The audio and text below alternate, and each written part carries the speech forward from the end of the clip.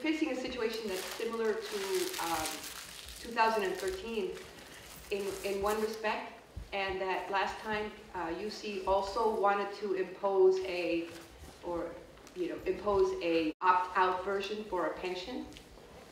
And one of the major things that was able to stop that is after all the negotiations, after all the petitioning, after all the um, bargaining conferences and all the organizing, we went on strike. And we had to go on strike Otherwise, we wouldn't have gotten what we got. And what we got was basically we were able to um, avoid the two-tier system that they uh, wanted to create for us, and um, we were able to keep our pension. And I really feel like it's really necessary to show that the people that made it possible, or some, some of the group of people that made it possible were workers at UC. And in particular, I want to point out that um, the clinical lab scientists, Jamie Frank and Sonia Moscardon were two of the uh, main organizers of the clinical lab scientists, and they were able to bring out almost all of the clinical lab scientists for the strike.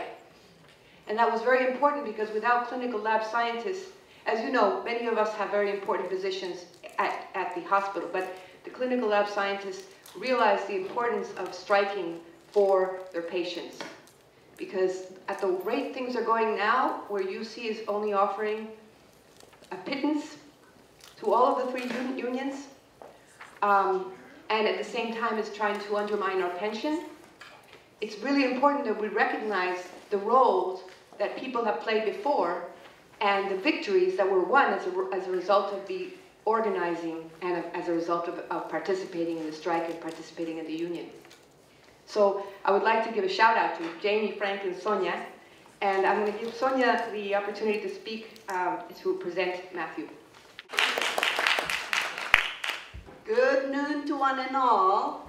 Um, first of all, I want to exercise my attitude of gratitude for having you all here. Thank you for being here.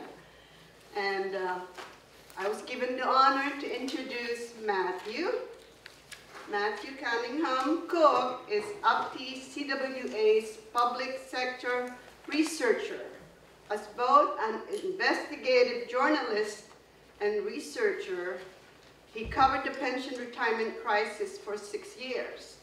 His work on pension has been honored by the Society of American Business Editors and Writers. He served on the steering committee of the Trustee Leadership Forum for Retirement Security and on the board of the National Public Pension Coalition as UPTE CWA's representative. Let's welcome Matthew. Thank you uh, so much uh, for having me here. Um, so, uh, yeah, we're going to get started. Uh, the yeah, uh, so there's a sign-in sheet that's going to be passed around. Uh,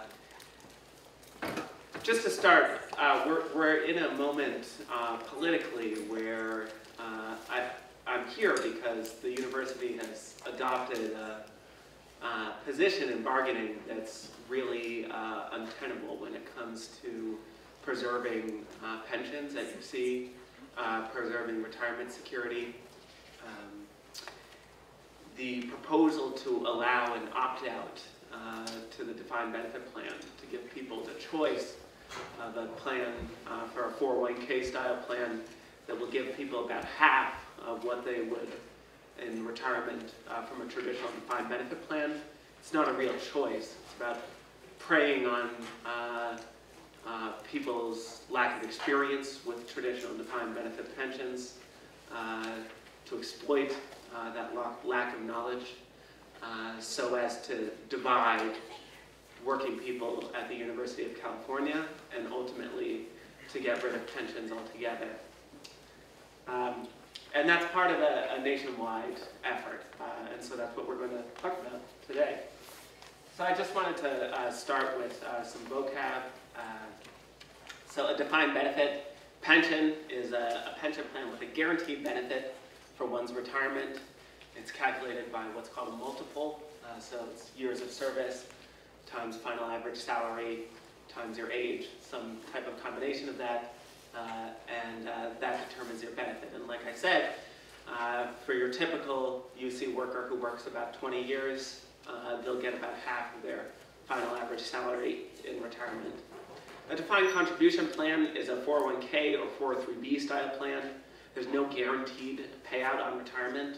Uh, DC plans have high fees, uh, and they're subject to the exigencies of the stock market. So if you retired in 2009 and your only source of retirement was your 401k, you uh, had lost about half of what your 401k value, typical, the typical worker lost about half of their 401k value uh, from 2007 to 2009.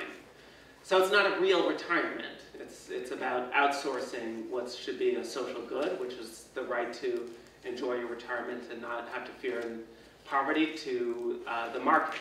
Uh, so um, an actuary uh, is uh, somebody who makes estimates uh, that form the basis for how much needs to be put into a traditional defined benefit pension plan. I'm just going over that now because you hear it, that word bandied about a lot. And then an actuarially required contribution is the annual contribution to a public plan uh, from the employer-employee contributions. So in the aftermath of the financial crisis, uh, every single state uh, passed uh, laws that attacked uh, public worker pensions in one way or another. Uh, and most of what you saw were higher employee contributions, reduced cost of living adjustments, higher retirement ages, new pension tiers for new employees, so lower benefits for younger workers, uh, and efforts to shift public employees into 401ks uh, or DC plans. Um, and the attack really co coincided with mass media hysteria over the scale of long-term pension liabilities. It's like, oh, you know, the plans are now, due to the stock market crash, plans are now underfunded. Uh, we have, you know, we owe tens of billions of dollars on our, our, our pensions and we can't afford them anymore. They're bankrupting us, and so we need to cut benefits. We need to move people into traditional defined, into out of traditional defined benefit pensions into defined contribution plans, into 401ks. And one person in particular uh, uh, really has defined this shift in our political economy.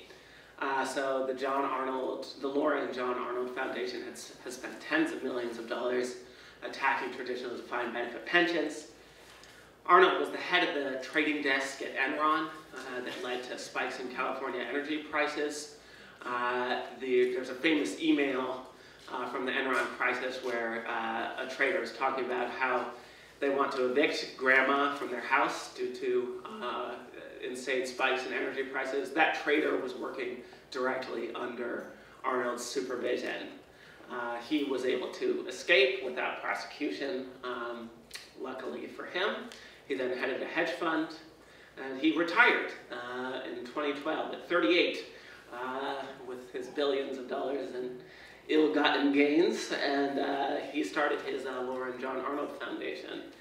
And he started it after having read a book by a, a right-wing loon that was uh, basically about how public sector unions are bankrupting America, how they are uh, uh, uh, inimical to the interests of the public, and he decided that he needed to fight against it. And he's, he was smarter than, you know, it, he was correct in his analysis that a very effective way to go after the power of public sector unions is to go after our defined benefit pensions because that is, if you look at the salaries of, the, of public sector employees across the country, they are significantly lower than their private sector counterparts, and that's true of UC. If you do a salary comparison for almost every job title, looking at UC versus Kaiser, uh, you see Kaiser paying significantly better salary. The difference is the defined benefit pension plan. It's, the, it's what guarantees you that you'll be able to enjoy your retirement, that you won't be subject to a stock market crash destroying your retirement and you needing to work into your 70s. That is what defines working in the public sector as opposed to the private sector. Uh, and so he's correct that if he forces all of us into defined contribution plans, we'll start seeing significantly higher turnover at places like UCSF throughout the UC system. It'll undermine our steward structures. It'll undermine our ability to have a functioning union. It'll undermine our ability to strike. It'll eliminate the institutional knowledge that we have. It will hurt patients and patient care. Uh, and uh, so he's savvy. Uh, initially, he kind of pursued the, the Koch brothers' route of a direct frontal assault against us. And he worked closely with folks like San Jose Mayor Chuck Reed to attack uh, pensions there.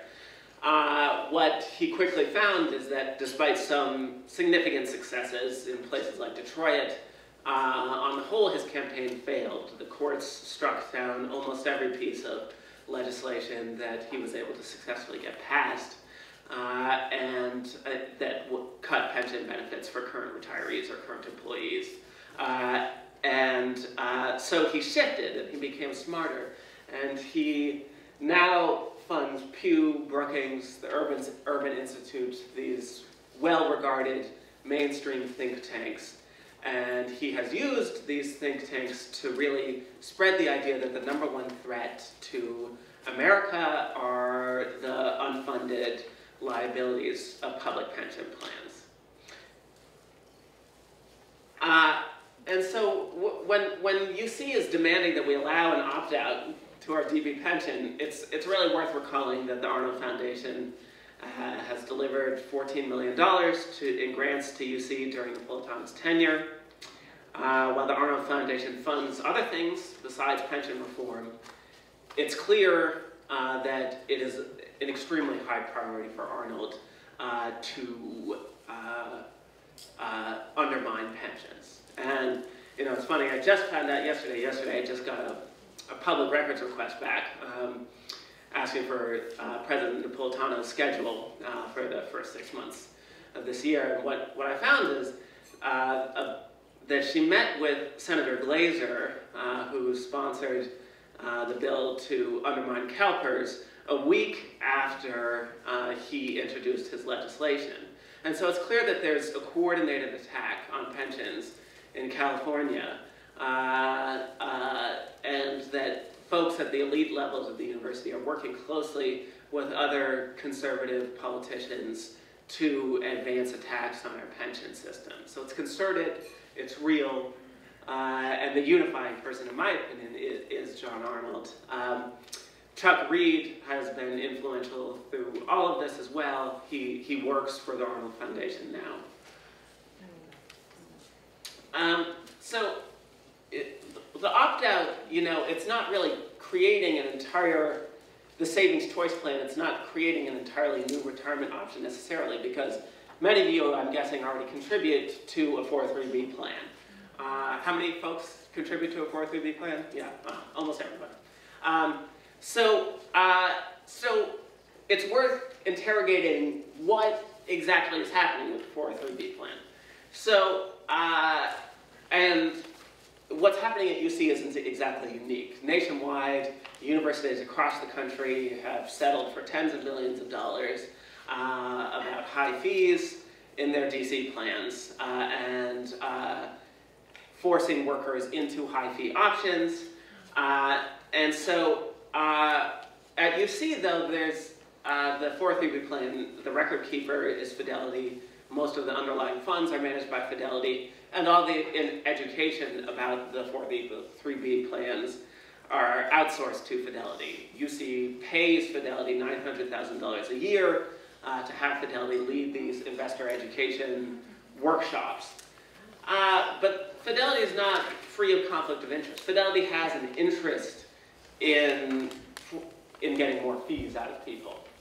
So this is the universe of funds that are available in the 403b portfolio. And if you look at, at it, there's actually some pretty significant differences, as you can see, between the different plans.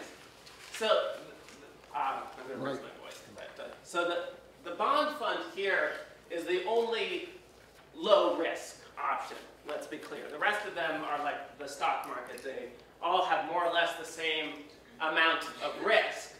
And yet there's really significant differences in the amount of fees that you're actually paying. And even greater, well, not actually, and, and also significant differences in the performance. So international stocks, for example, foreign stocks in Europe, South Africa, Brazil, Mexico, they're even higher risk than the US stock market right here. Yet the performance is less than 20% over 10 years of, of traditional US stocks, which is historically Americans have only invested in American stocks. Warren Buffett says you shouldn't invest in foreign stocks, uh, in part because of risk, uh, and also because of the fact that American companies consistently outperform their foreign peers. And then there's also significant differences. In, so if you invested you know, $10,000 10 years ago exclusively in the international equity uh, index fund, you'd have uh, $11,800 as opposed to uh, in the domestic stock fund, you'd have over $20,000. So that's a really significant difference that people are eating the cost of. Uh, and yet the university is forcing more and more portions of your 403B into international stocks, into emerging markets, into this diversified international stock fund. And you also look at the fees. So, you know, it looks like the fees are actually kind of low here, right? You know, with the, this uh, diversified international fund or the emerging markets equity fund. This is actually, you know, over here for the emerging markets, this is about 20,000% higher fees for the emerging market equity fund than for the domestic small, small cap equity. So a really significant difference in the amount of fees that you're paying uh, for performance that's, you know, that's crap. That's just absolute crap. Uh, and, uh, and also higher risk. So, uh, so why exactly is this happening? Well, um, yeah, just to, uh, yeah, these are the low performers. So, uh, and then this is, you know, so then almost every, go ahead. Oh, yeah, yeah. Um, so, uh, and so this, so almost everybody has recommended that they invest in pathway funds, which are uh, uh, uh, designed by the UCCIO in conjunction with Fidelity. Uh, and so here you look, it's, you know, you have 30%, you have 30% of the portfolio in emerging markets and international equities, despite the fact that the performance is awful compared to traditional US stocks. So you, you see, you have more money in international stocks than you, with performance that looks like this than, than in the entire US stock market fund. Uh, so, or it's about, yeah, yeah, yeah, that's about the same. Uh, and, and let's be clear, this is wildly divergent with historical trends. Americans mostly didn't invest in foreign stocks until about 15, 20 years ago. And again, it has real consequences for how much money is in your 403b account. So when the university is like, oh, you know, well, we know best. you know, the savings choice is just about giving you an option. Really, it's giving you an option to pursue higher risk, and it's outsourced to you. So when the university, and we're about to go into this, but when the university goes, and it's bad in the defined benefit plan, when they go in, into higher risk options in the defined benefit plan, they're the ones who are eating the cost, typically. You know, they have to make higher contributions. When there are employee contributions more or less stay the same year after year, theirs fluctuate depending on, on the performance of the market. Uh, whereas when it's you, you have no choice. It's, you know, you're forced into this fund that's going to cost you thousands and thousands of dollars and you have no recourse, you know, as opposed to the traditional DB plan where it's the multiplier that de determines your benefit, not the stock market. So you see as, you know, it's, uh, and we're going to get into this more a little bit later, but, you know, the, the, the main advantage to the opt-out is that it, it undermines the political basis for pensions. And, you know, as I said before, you know, the Arnold Foundation has been dealt a, a, a, series of stinging legal defeats in terms of undermining our pensions. But the one, there are several areas where our, so in terms of, and I said this yesterday, but in terms of your benefit when you retire, that it's highly unlikely under any circumstances that it will go down. The greater question is what will happen to your cost of living adjustments? Those the courts have consistently undermined the legal basis for cost of living adjustments. So if you retire when you're 62 and you live till you're 102, that's, you know, uh, an over 50% cut to your pension over 40 years. Uh, you know, you're eating a 3% cut year after year after year after year after year. Uh, and, and then the other piece is that there's nothing stopping them from making current employees pay more into the pension uh, to, to get the same benefit. So that they might just say, well, we need you to double your employee contributions. If you're 53, you've been paying into the pension for 20 years, you know, but to get the pension that you expected, you now have to pay a much larger portion of your salary. And so those are real political risks facing UPTE members, facing UC workers as a whole. The opt-out undermines the political coalition to defend our pensions by pushing new, new, workers who will overwhelmingly be the people who choose the savings choice plan. Uh, it means that you'll have a two-tier retirement system. The political basis for unity in Sacramento to defend our pensions is undermined. The power of the unions is weakened. Uh, and your pension becomes at risk. Your cost of living adjustments become at risk. So uh, at the same time, they're, they're pushing us into investment options that shortchange our 403Bs and would short shortchange our entire pension if opt-out is implemented. There's no way that the university doesn't know about the long-term poor performance of international stocks. The CEO, Bachher, is a very sophisticated man. There's no way he doesn't, you know, have, have this right on his desk, seeing this type of performance there's no way he doesn't know that international stocks are higher risk and get you lower returns for higher fees, and yet he still includes them in the pathway funds. He still includes them in the international equity, uh, in the uh, gamut of options available to retirees. I called the lawyer uh, who's been suing, you know, universities around the country for these types of behavior, and he said, you know, I'd love to sue UC, but it has sovereign immunity under the UC, under the California State Constitution. So uh, he's like, I'd love to, but you know, that's not going to happen. uh, so, and as far as I understand, only a few other, like Michigan, I think is the only one, but anybody can correct me, that uh, has uh, sovereign immunity explicitly laid out in the state constitution. So, uh, and even CSU, I believe, does not have uh, sovereign immunity in its constitution, um, uh, in the state constitution. Um, so, uh, you know, it, what we're seeing, the fastest growing demographic segment of people in poverty are elders in America. And that's because of the, the decline of defined benefit pensions.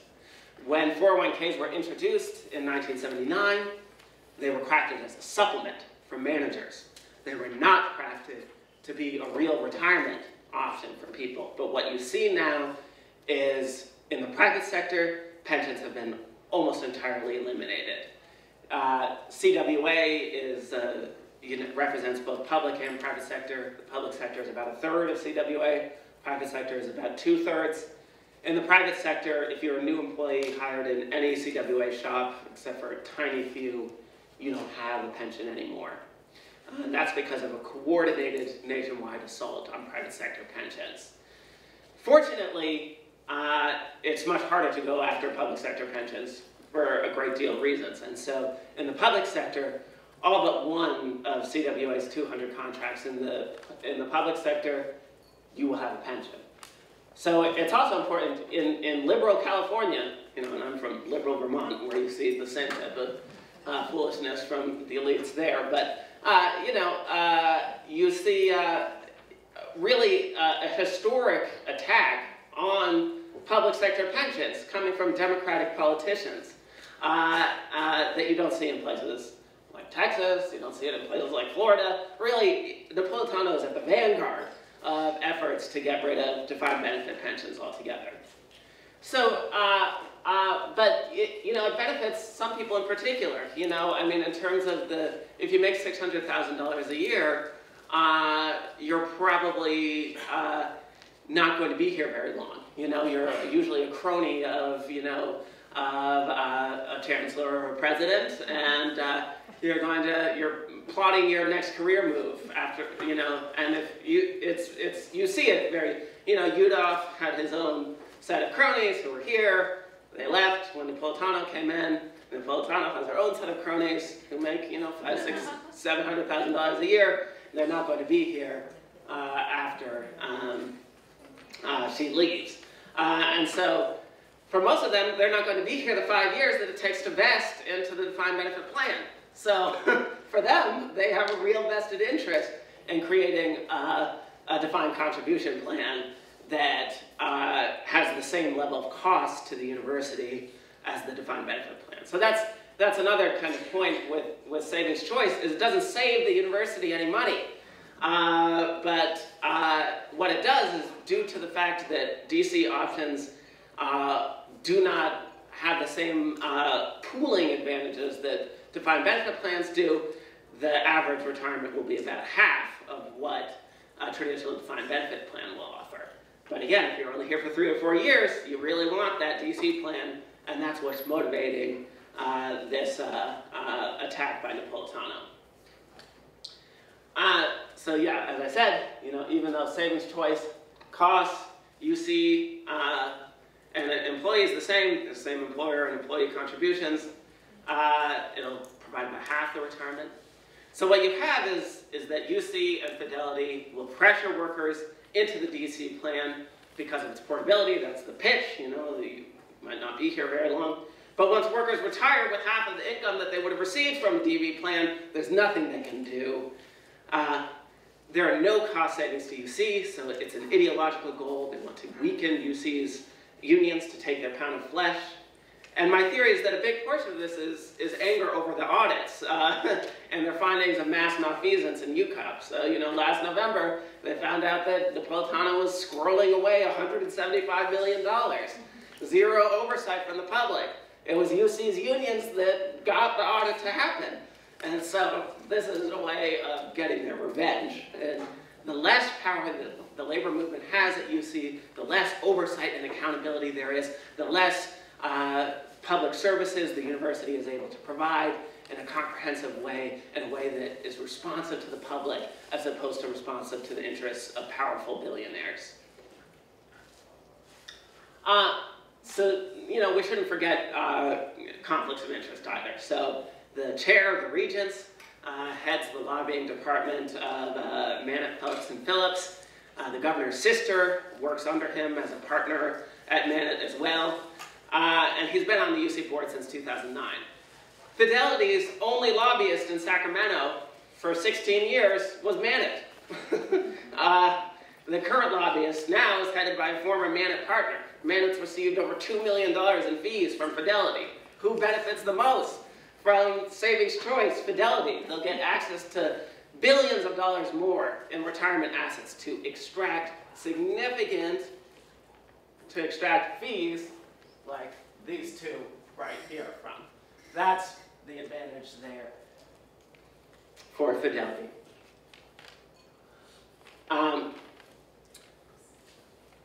so, uh, you know, I, I want to switch back to the traditional defined benefit plan because that's the other piece too, is that, you know, in terms of what the governor's initial, because a big part of this initial push came from the governor who said, you know, I want the university to do a study about doing a, you know, a defined contribution plan because, you know, there's these unfunded liabilities that are too onerous. So let's be clear, when they say, oh, you know, UC has this, you know, 20, 30 billion dollar unfunded liability, they can be paid off over 30 or 40 years. Only one public pension fund in the history of this country has ever run out of money. Prichard, Alabama's pension fund. It's a town of 8,000 people. There was mass malfeasance and corruption. No other public pension fund has ever run out of money. No state has ever gone bankrupt. Uh, no state has ever defaulted on, their, on any kind of debt, much less pension debt. Uh, and unlike companies, states and cities have a tax base. They have a permanent revenue stream.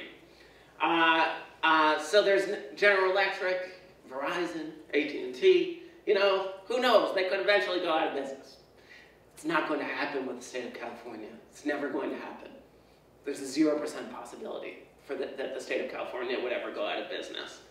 It's their obligation. They have a constitutional obligation under the contracts clause to provide the benefits that they negotiated, that you paid into.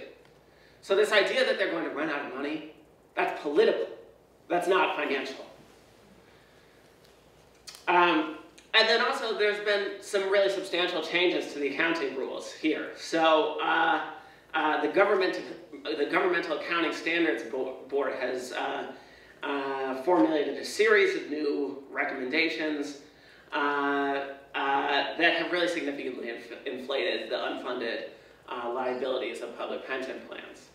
But despite its name, GASB is not a governmental body. It's controlled by private sector interests in the accounting industry uh, who have a vested interest in undermining uh, public pension funds because of the same reason why the Arnolds don't like them. There's a massive international campaign against the right of trade unionists to organize. There's a massive campaign by the 1% to undermine labor unions. This is what Janus v. AFSCME is about. This is what every single attack on collective bargaining that we've seen is about, is that they want to undermine unions because we are the only organizations in the United States that are capable of addressing inequality at the place where most Americans spend their time, which is the workplace. Um, I'm going to skip over that. So, uh, you know, and uh, one, so what the other piece, though, is, you know, while the media constantly talks about these unfunded liabilities of public pension funds, Wall Street is making enormous amounts of profits from our pensions. Public pensions pay out $10 billion annually in fees to Wall Street, and yet returns consistently trail the market. And from 2010 to 2015, UC's risky investment model for the DB plan uh, cost them nearly $6 billion. That's hedge funds, private equity, real estate, trying to pick stocks when every single peer-reviewed study in the history of investment management has shown a large investor can, is incapable of picking stocks effectively. It's literally impossible. It's never been done unless you're Warren Buffett. He's the only person who's shown that you can actively manage a stock portfolio and actually beat the market. Nobody else can. Nobody else has been able to figure out how to do it. Uh, and, uh, you know, it's, you know, it's uh, Bachher, you know, the same CIO who's making these decisions for our 403B plan and to higher fees. He's doing the same thing for our defined benefit plan. And then complaining, you know, in conjunction with the Napolitano, the Napolitano administration about the cost of our DB plan. So, you know, they've increased significantly the amount of the DB plan invested in hedge funds and private equity and real estate and active management. It's now over a quarter of the portfolio, up from 0% 30 years ago. Uh, the top 10 hedge fund managers, uh, and over one third of the money from, for this industry comes from public pension funds. The top 10 hedge fund managers made over $10 billion in 2015, an average of over $1 billion. Compare that to the CEO of Verizon's salary, $18 million, which is obscene. They made over 50 times that amount. Paul Singer uh, um, made a $400 million in 2016. He manages over $250 million for the UC retirement plan. The returns are horrible. Uh, the fees are 60,000% higher than for ordinary stocks and bonds. He's the chairman of the Manhattan Institute, which has uh, propagated anti-pension research, anti-union research, filed amicus briefs against us in the Janus v. AFSCME case, worked to undermine pensions in Puerto Rico and in Detroit. Uh, and this is who Napolitano and co. are giving away the store to. I have a friend of mine who works as a private chef uh, for one of the, these guys, you know, and um, uh, the lifestyle that these people lead is just so unbelievably moral. Uh, I mean, he lives in this 60-room mansion in upstate New York, and his entire family is deeply miserable.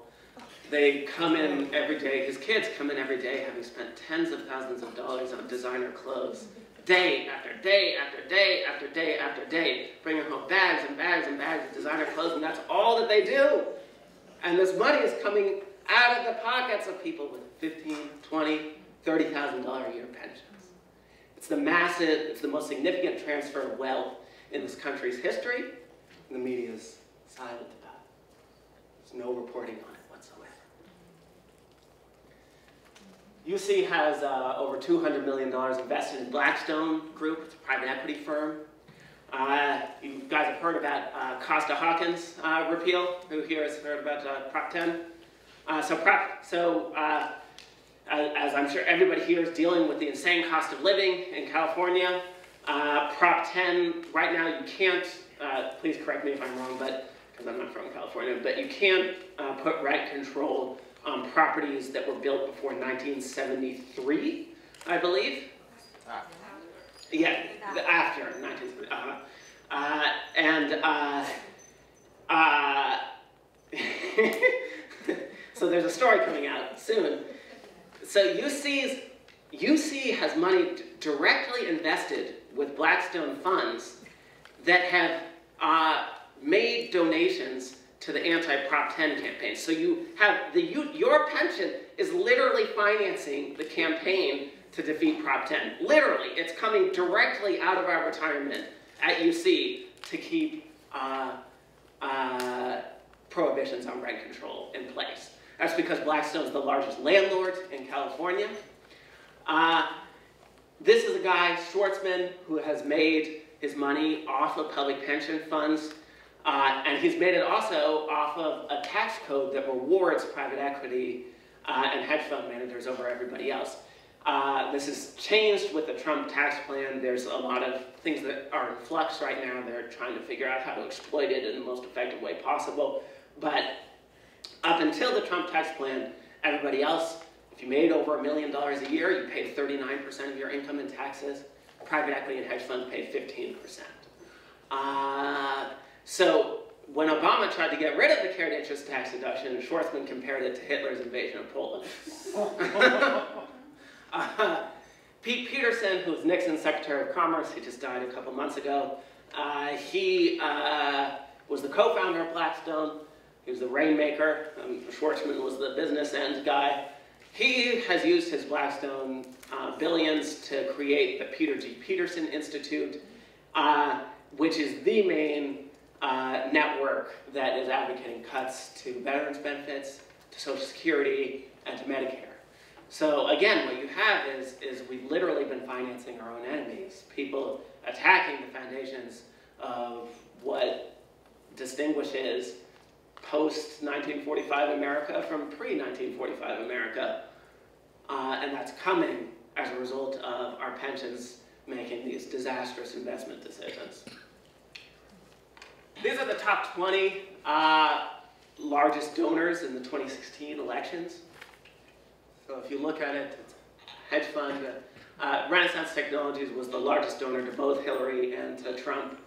Uh, uh, hedge fund, hedge fund, hedge fund, financial conglomerate, hedge fund, two more financial conglomerates, real estate lobby group, a bank, a hedge fund, another hedge fund down, private equity firm down there. That's Blackstone right there. Hedge fund, another hedge fund, then a hedge fund. Uh, there's no discussion of this. There's no discussion in our political economy about the, how these companies that are entirely dependent on public money and a tax code that is completely out of whack have really completely bought our democracy. There's no discussion of it. So poor investment returns and high fees, they reduce the funding levels of pensions and they increase contributions from states and municipalities. And then they the higher costs bolster the case of anti-pension advocates for custom pensions. So Jerry Brown, if UC had just pursued the same investment model that Warren Buffett advocates, which you put 70% in the stock market and 30% in the bond market, pay as little fees as possible, and just leave it be. And then if you hadn't had these accounting rules changes, UC's pension plan would, have, like I said, have billions of dollars more in the portfolio. there'd be a much less stronger case to undermine our pensions, to, uh, there'd be less unfunded liabilities, and there'd be more, uh, there'd be less of an ability to bolster the case for moving us into a 401k plan for creating savings choice. So again, it's, what you see is you, the people managing the investments for public pension funds, you know, it's like Bachher is the highest paid employee of the university. He makes $700,000 a year. And he's using the money that he gets, you know, out of the pension to undermine public pension funds, uh, to move us all into a 401k plan. And that's really because of this mass political effort to undermine the power of labor unions. So, know, and it's also, let's be clear, there's like significant, you know, financial incentives for people to pursue investing in uh, private equity and hedge funds. You know, if you, it's not your money, it's other people's money. Uh, so, you know, there's numerous instances where politicians and pension trustees have received campaign contributions and bribes for giving business to favor private equity and hedge fund firms. You know, because the fees are so high, uh, you know, there's a big incentive. And there's been significant scandals all around, you know. CalPERS, perfect kind of example here, you know, so uh, the CEO of Apollo, uh, uh, Leon Black, his cronies bribed, you know, two uh, trustees, uh, well, a former trustee and then a, a, current trustee at the time, and then the CEO of CalPERS. Uh, you know, these two guys, you know, they died in the middle of trials under kind of suspicious circumstances. One of them was murdered. Uh, and then uh, uh, former CEO of CalPERS is in prison, and this guy's worth over $6 billion. Um, so how are we fighting back? So, you know, the first thing is, you know, we, we you know, it's, it's a two-track campaign. You know, we need to defend the political, we need to defend the DB plan, you know, because ultimately it's about our benefits. The way it's being managed, we need to be clear, the fees are ridiculous, the decisions they're making are ridiculous, but the underlying idea of a defined benefit pension plan, that is the exclusive way that we can have a secure retirement. Uh, and so we need to talk about fidelity in particular, and we need to talk about the significant conflicts of interest. You know, one of the things that, you know, I, uh, I talk a great deal with the research director at uh, AFSCME 3299, and one of the things that we've been trying to suss out is, you know, how much coordination is there between uh, the regents and, and the president's office, you know, because it's like, does Kieffer, is Kieffer really like acting out Fidelity's interests, you know, on the board of regents to Napolitano? How closely are they coordinating? It turns out, now that I have her schedule, I mean, these Kieffer and Napolitano, they talk three, four times a week. There's extensive coordination between the chair of the regents and the president's office. So we can be extremely confident that he is intimately aware of the administration's bargaining practices, that the administration is extremely, um, is refusing to move on any issue related to, you know, it's like, as, and again, correct me if I'm wrong, but as far as I understand, they've said, we're not going to come to a tentative agreement on any economic issue until you guys agree to the opt-out. So there hasn't been any movement at the bargaining table for a year because the administration is refusing to move on this extremely basic issue that, again, no union in their right mind would agree to this. So it's like, eh, eh, you know, I, eh, we get that, like, you know, from Arizona, but she didn't even try this shit in Arizona. You know, excuse me. You know, she didn't, when she was governor of Arizona, she never tried this. When she was Secretary of Homeland Security, she never tried to eliminate federal workers' pensions, you know, at, at DHS. Never. In fact, you know, I mean, she was reason. I mean, at, when she was Secretary of uh, Homeland Security, it was the largest, there was the largest organizing victory uh, of the entire Obama administration, where the, uh, the Federal Workers Union organized 40,000 TSA agents. So uh, to me, it's clear that there's some things going on behind the corner because this is a person who historically didn't have an instinctive hatred of unions. Uh, something's happening where the power elite in California are, are afraid of the power of the labor movement here and they're organizing to undermine us. And, you know, people are paying attention, you know, I mean, less to us, you know, but uh, the Koch brothers, in terms of uh, their uh, efforts to get people to drop out of unions now that Janus v. AFSCME uh, has happened, AFSCME 3299 is one of the first unions that they have targeted. Uh, so it's clear, you know, that you see it's the driver of, of the university's economy.